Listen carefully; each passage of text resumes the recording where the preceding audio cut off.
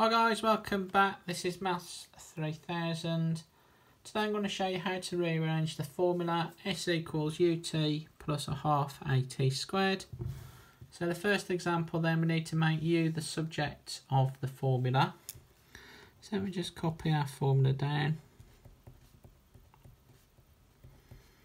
So we're looking to make U the subject. The first thing we're going to do then is just multiply everything by 2 to get rid of the fraction here. So I'm going to times both sides of the formula by 2. So 2 times s is 2s. 2 times ut is 2ut. And that will cancel out the half if we times that by 2. And that will just give us at squared.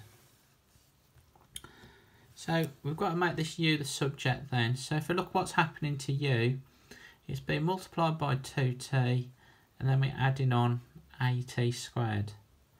So I've got to do the inverses in reverse. So the first thing I'm going to do then is get rid of that plus at squared by subtracting at squared. So on the left hand side I will have 2s minus at squared equals 2ut.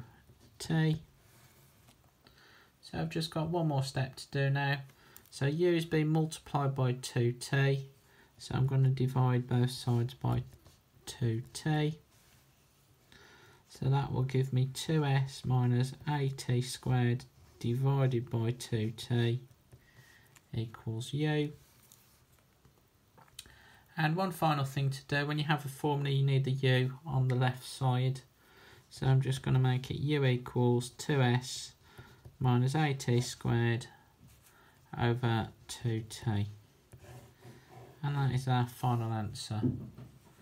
So let's move on to example 2 then. So this time we've got to make a the subject. So if I just copy out the formula again. So I think it's best again to times everything by 2 to get rid of the fraction. So that'll give me 2s equals 2ut plus at squared. So we're making a the subject this time. So a is being multiplied by t squared and then we're adding on 2u, 2ut. So if we do the opposites in reverse, let's get rid of the 2ut first. Let's subtract 2ut from both sides. So that will give me 2s minus 2ut equals at squared. And then the final step then is a is being multiplied by t squared. So we just need to divide both sides by t squared.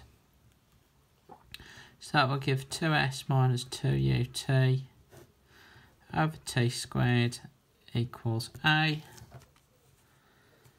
and we just copy the formula out again with the a at the start. So our formula for a is 2s minus 2ut over t squared. So I hope you liked this video. If you did make sure you like and subscribe. Thanks for watching guys. Bye bye